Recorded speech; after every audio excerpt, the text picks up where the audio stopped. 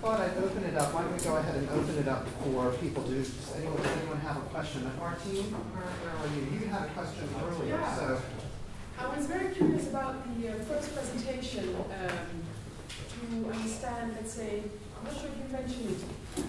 I mean, I understand how it works now, but how do you deal with the projects, let's say, of 15 years ago in a digital way, I mean?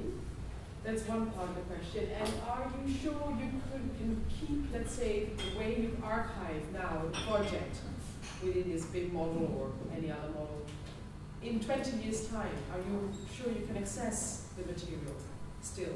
Are you upgrading the systems, filter, you know, constantly, or Cliff, I'm sorry, we put you on the spot. Wow. No, in fairness, I don't know. right, absolutely. What can you say? Um, Yeah. Uh, in terms of our experience on King's Cross, this issue of, uh, of the kind of the, the degradation of the data, if you like, digital data, hasn't really been an issue, actually, funnily enough. Uh, Oh, because it's a very uh, recent, Recent. project. In a. Yeah. So I'm not, oh, I, I, I totally agree. Yeah. I'm not uh, afraid, Yeah. but let's say in 20 years, are you able to still access that material? Because that's something, let's say, for museums and collections, is a big problem. Uh, well, I, I mean, the answer is I don't know. I mean, hmm um, That's uh, right. That's what most of us are saying. We yeah. don't. Yeah. Um, In terms of format of the, I mean, what's what's what's what's important in our in our digital archive, if you want to call it that, in terms of our work, is the structure and how those files combine and relate to each other in Sure. a managed environment. And to do that, we need to have, we need to understand the environment, we need to understand the workspace, you need and the, the software used to get in there has to. And do you have? Do you?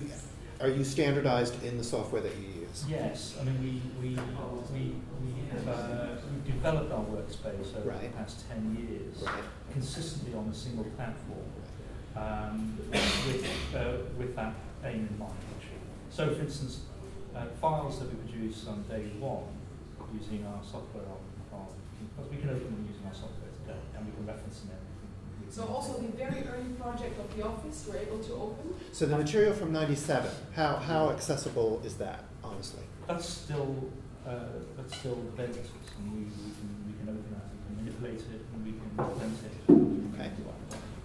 Prior to that, I'm going to kind of, I, I will actually hold my hand up. I mean, since the introduction of, of the software, we've never changed platform. So that would have been around the, the late 90s, and this, uh, this from Robert's introduction is, is way before my time. But it's kind of similar experience to, uh, to any practice, I think. Those kind of um, those kind of methodologies, those kind of digital tools were kind of becoming part of our work. Right. Sure. Um, however, I know absolutely that uh, uh, using the platform configuration that we've got, I can access any file that we produced using our using our using our platform uh, today, using software got. So there's no there's actually no issue. I mean, it will be dumb dumb data for sure. sure. Um, but there's no, there's no problem with actually accessing it. In terms of how that, how that will, will develop, uh, well, there's a big challenge for architects at the moment. I mean, uh, we, we're using proprietary tools, you know, to, to, to access this information. And, um, uh, and that's quite a harsh environment for us to exist in. You know, the, the, there's, a, there's, a, there's, we could say there's a battle going on there Yeah. to, to, to, to uh, I, I think various vendors want to become kind of ubiquitous and, and, and, and, and want to own that market. That, that's kind of destructive to our work. Sure. Um, so I, I don't know how that will how that will develop. I don't know whether anyone else wants I, I to- think it's we've had a similar experience um, with using BIM technology when we worked on a project uh, using digital projects, the, the, the software that Frank Gehry's team developed from CATIA. It's very interesting because the, the modeling that you're doing is not necessarily geometry based, but it's timeline based. It's based on a series of processes that in future versions might not be applicable. So you don't know whether the version you're using in five years will still be using those processes, so those, that, those files that you had from five years ago would even open. As you said, it's proprietary based. So unless you keep that software, you're, you're not necessarily containing data, you're containing history, you're containing timelines. Yeah. So any piece of geometry is only there because it knows how it was made, rather than just being curves and meshes, and it's not actually there as geometry, it's there as history. It's very weird, and, and unless you do keep up to date with those iterations and as uh, the software develops, you can find that soft that, that file is simply no longer accessible at all. I mean, you can get that on a simple software like InDesign. Mhm. Like if you're making working on a presentation, it only opens two editions. So if you have, I imagine if you if you're working on a presentation that you made on InDesign CS2, you probably can't open that anymore. If, if you're working now on, on say you can only open the PDF. And again, based on the functionality of the software, Yeah. because the, those pro, those tools have either changed or they just simply Or- didn't exist before. don't- yeah. And I- I'm not sure this came up yesterday, but for as, as museum curators, the big challenge is how you create a sort of a universal tool to present this material to visitors. So rather than coming to study and looking at drawings, how can you kind of proof your hardware and your software to make sure there's a kind of universal view of some sort, whether it's a PDF or native uh, design file. You need to be secure in the knowledge that you, know, you can kind of keep up to date and, and things won't suddenly become inaccessible in a study room or they, you know, files might suddenly become corrupted or you can't keep up with, uh, you know, if, if, if designers are moving forward faster than the sort of study room resources or museum archiving resources, then you need to remember to keep up. Actually, the big- William, do, that's this is. William Kilbride from the Digital Preservation Coalition, and I thought maybe you've been to both days, so do you have any Yeah. comments? Well, yeah, so I mean, I, I think, I mean, there's a range of different themes to kind of un- unpick here. So I'm interested in the idea of the environment. I think that's a very important observation. Again, I said this yesterday, but my, my sense is that archive, archives have viewed this as a file problem, but increasingly you become aware of the dependencies on a range of different, this is technology stack problem. And whereas in the past we've thought, well, we can save these files PDFs or CAD, actually it's the interdependencies between those types of technologies that really begins to matter. So the libraries of the CAD files is a place to start, but it's not by all means a place where it ends. And depending on, it's, it's almost like, as you rightly observed, there's an ongoing technology, and you are in effect curating the collection as you go, you know, and it's doing all those change updates, and that's the way it has to be. Uh, the question arises is how easy is that to transfer to a memory institution? How easy is that to, to make available to someone else for them to curate after the fact, you know? And I don't know the answer to that, and that's an interesting, I guess And that's why also, you have to understand from our perspective as traditional archivists, the notion of altering the records that we receive was not the way we were taught. So this is a new thinking. And unfortunately, that my colleague Maygene Daniels from the National Gallery of Art, who was here yesterday, who is a trained archivist from the old school, has gotten that message. And so the notion of how we work through maintaining, and Martinez, we talked about this, the traditional notion was that you maintain and respect the original order, the integrity of the archives that comes to you. And in the digital world, we still want to be able to bring that to the table, but yet the reality is, in order for, for anyone, I think, I didn't say this yesterday, but I think actually future researchers are gonna be recurating Yeah, the I- thing we curated. Yeah, because I, I mean, I mentioned the kind of very unique experience of sitting with Neil in front of a workstation, Absolutely. and I thought, wouldn't it be great if a future visitor could actually enjoy that experience of reconfiguring, not necessarily redesigning, but just to kind of understand, um, you know, other layers that you could add to the raw data to show different view or different flight, you know, curate your own um, animated fly through, for example, Well, you have the raw data. you your design, you your design at that moment, what you created, in the traditional, how did we capture that before? Because we really Yeah, didn't, the output was really, an yeah. exhibition catalog and installation Yeah. shots. But the point is, what you've got are actually records Yeah. that show the creative Yeah. process. So somebody's gonna use that. And in theory, then 20 years' time, you could recreate the dis- Absolutely. recreate, recreate the design and recurate it, in fact, because all the raw 3D um, sort of um,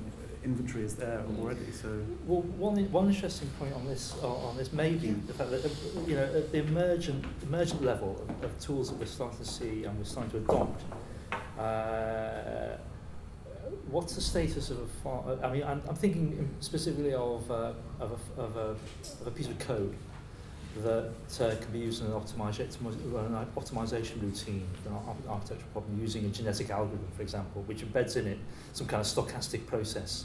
So the, the, the design of the code is one, is one act. The, the, the running of the, of the script is another act. And every time it runs, uh, it's unpredictable, actually. And, uh, and, and therefore there's no, there's not that link in the, the you know, we have the archive of the original design.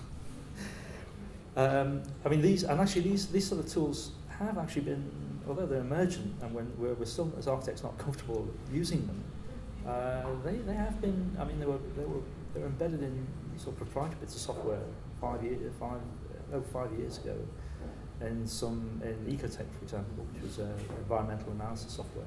That was running um, that was running uh, genetic algorithms in ways that we didn't even understand when we pressed when we press the button. You know, But These you're really- speaking a language that I, I I hear, Mm. and I don't understand. yeah, because if you're, if you're, if you're on co- It's a- as long as you're not experimenting, let's say with the software, not pushing for, Yeah. I'm not sure about the two, the other two, let's say, you just follow the rules of the software that you get the or you use, I don't think there is much of a problem. It gets very problematic for archives and collections with uh, projects where architects were really experimenting with, with the software and what we are facing now with the CCA that Chuck Hoberman delivers as a code which is unreadable for anyone, even he cannot open the code anymore. So let's say it's very, because it was just, you know, experimenting, using illegal software to then rewrite illegally the software, so that it becomes really, but as long as you kind of follow the um, uh, standards and normali- normalization of the process, Mm. it's fairly doable, I suppose. But I think the other thing that Martina brought up yesterday is that um, another really important component to this is the nature in which, the, the process in which the records are created. So the whole way of how the office works, the tracking of the creative process. I- traditionally, in, in traditional paper architectural records, you couldn't capture that because it was an intellectual process based on people personally meeting. Now with the platforms, there are email chains, there's all these other kinds of things that potentially could be saved as a part of the archives to contribute to the complete understanding of the creative process. In other words, it's interesting because with what you're creating, we have the potential to really, we can save everything.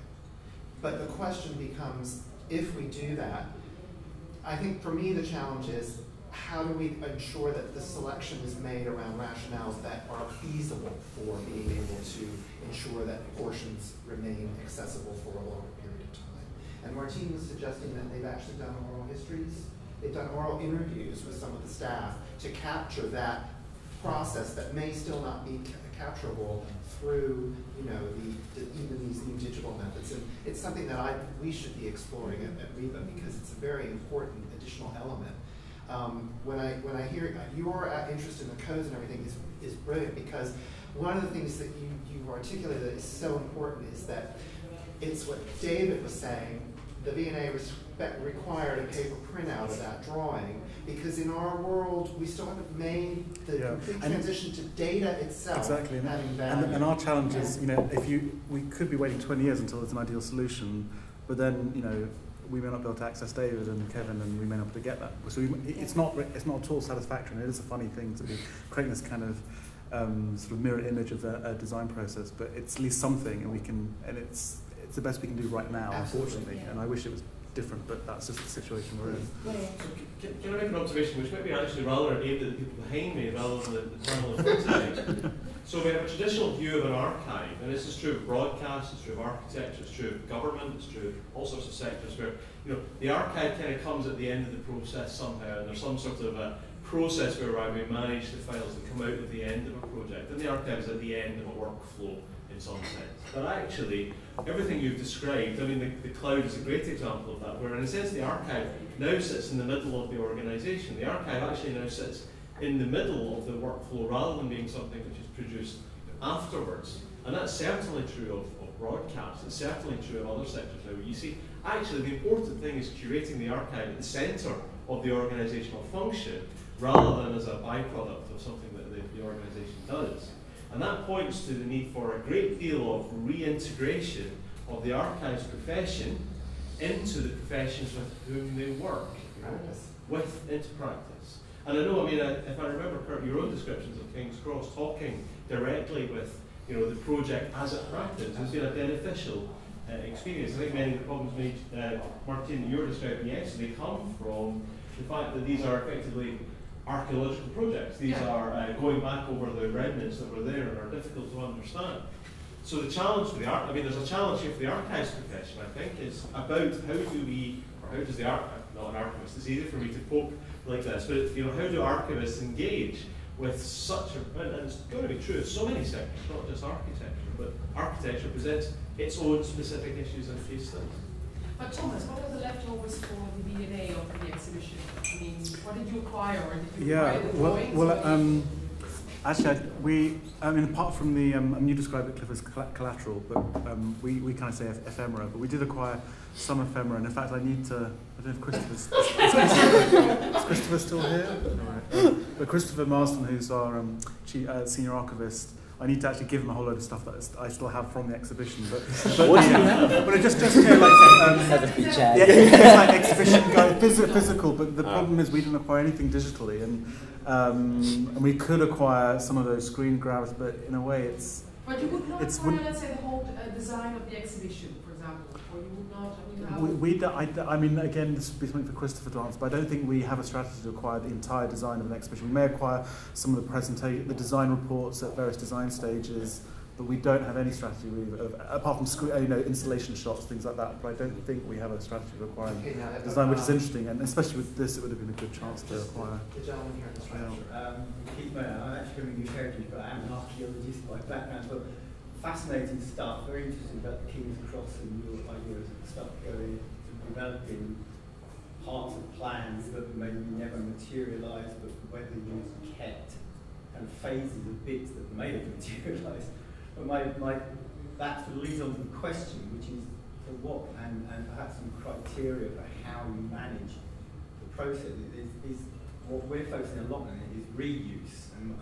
What I'm wondering yesterday what people feel about in terms in, in your particular area, rather than mine, yours, but in, in your area, what potential there is for people to reuse the stuff in the future, because that really makes a big criteria for what you think is important to hand on as a kind of legacy to anyone.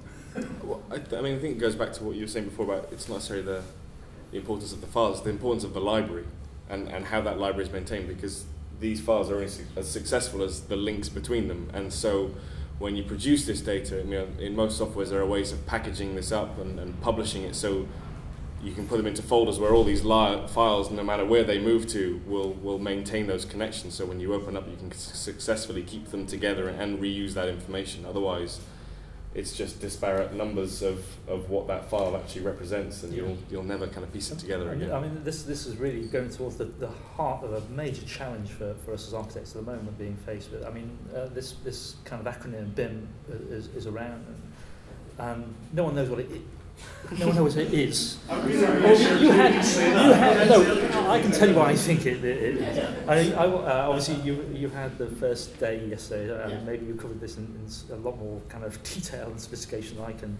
Uh, but it is a challenge to us, and it goes back to the heart of actually what, what are we what are we modelling, what are we drawing, what are, how are we uh, how are we specifying that, that, that data, and who's it for ultimately, uh, and and and our understanding of, of, of, of the idea of, of, uh, of producing much more sophisticated models is that actually we need to understand that process, which is not just our involvement in the project, uh, which, which comes in the commission for a project and then the construction phase usually, but actually the whole briefing pro- process from the client, the user, and then handing it on to people who are going to use it.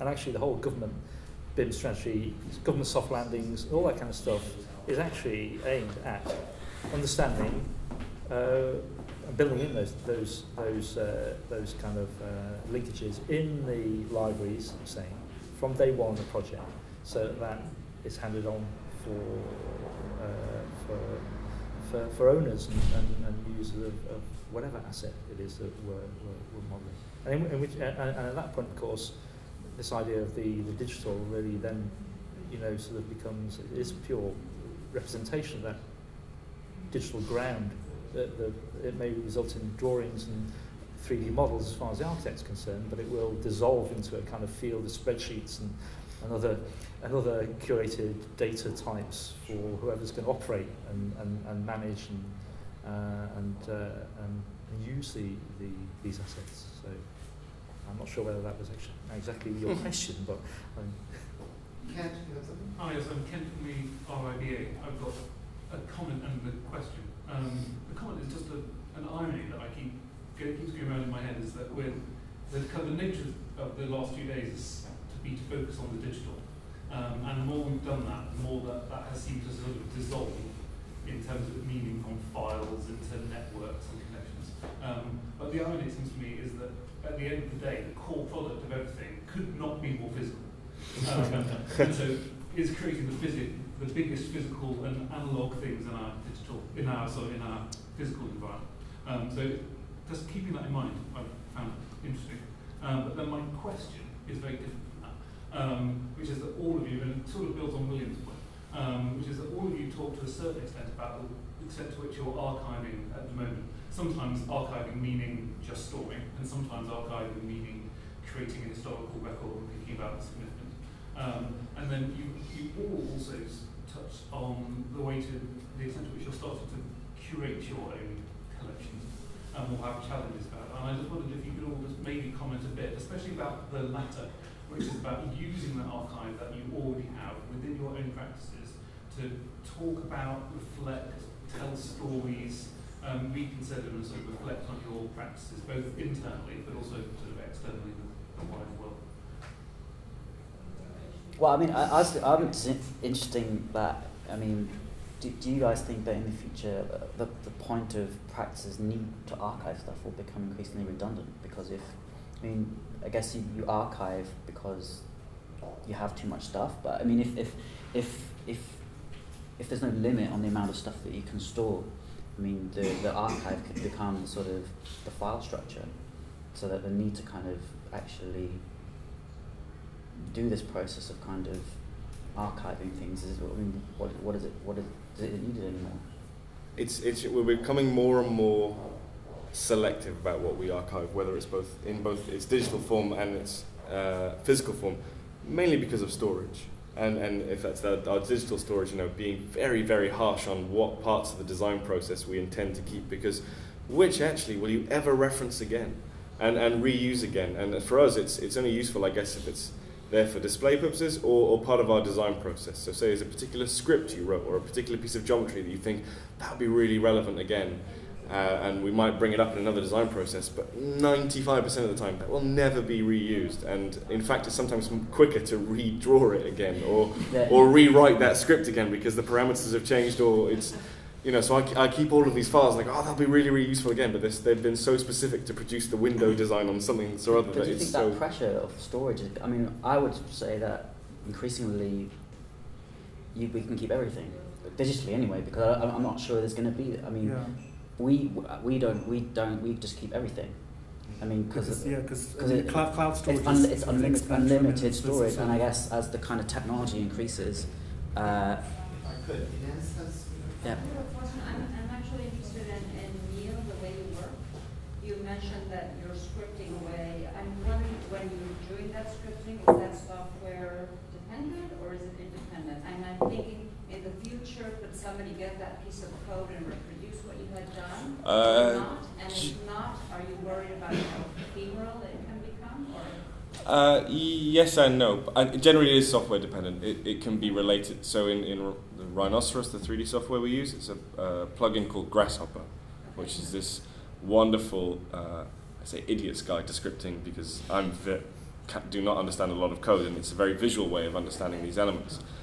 But as I said, sometimes we you feel like it's very important to keep hold of these things, but equally, sometimes it's a lot quicker to just redo it again and rewrite that code and, and spend another day just repurposing that together. So I think as, as there's a lot of people in the studio who get very worried and they, they will save iterations of files like every hour and then create another 100 megabytes of data, another 100 megabytes of data. I'm very much a policeman in the studio and going around and making sure this doesn't happen uh, deleting and, and knowing when to supersede data and, and how to compress it and archive it because very quickly in the studio of, of over 100 people you can use up the, the server in a second and but if knowing- have a, if you don't have a survey, that's not a problem. Mm. it's Yeah. true yeah yeah and, and, I, and I think we just have to be very careful about when it's relevant to create that new file and when it's relevant to actually delete data and, and, and being okay about it because the end result is, as we've been talking about, you know, the, the end result is this physical object and that's what we're always trying to get to and I think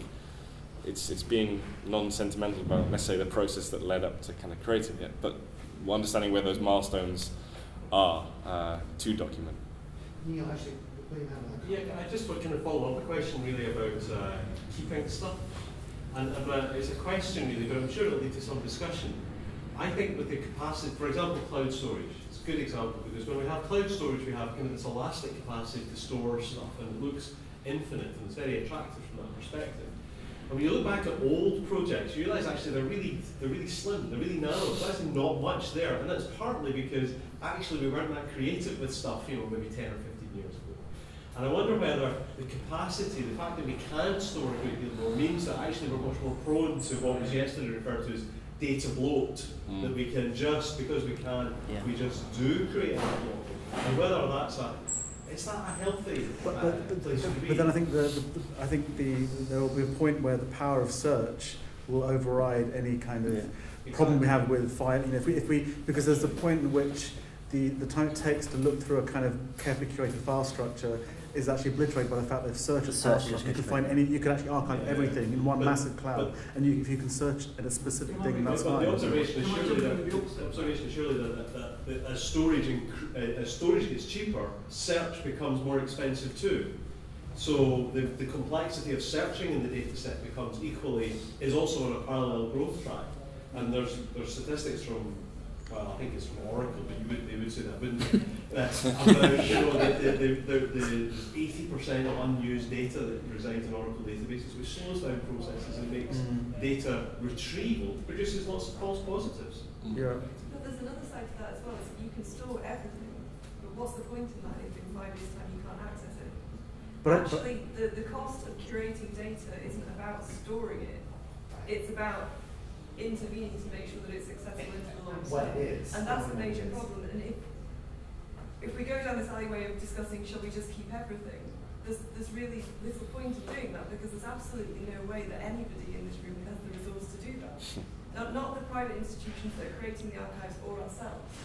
And one of the kind of things that I think is the elephant in the room here is that we have a massive challenge to tackle in terms of digitally archiving and thinking about curating this, but we're all, I'm sure, in a position where our, our budgets are being massively attacked. And one of the things that people in a challenging economic time think we can do without is properly resourcing cultural heritage institutions. So But I think, I think that's where the That's cloud, that, that's where, surely that's where the cloud comes in, because if you can, if we can think of a future where we're actually on the cloud sharing our servers and our, that's where the cost saving comes in, surely. We're not thinking, Well, we're, we're moving No, away. I think no? Yesterday we had a presentation, was very interesting by the, uh, I can't remember his name, uh, the archaeologist. Uh, Um, Stuart.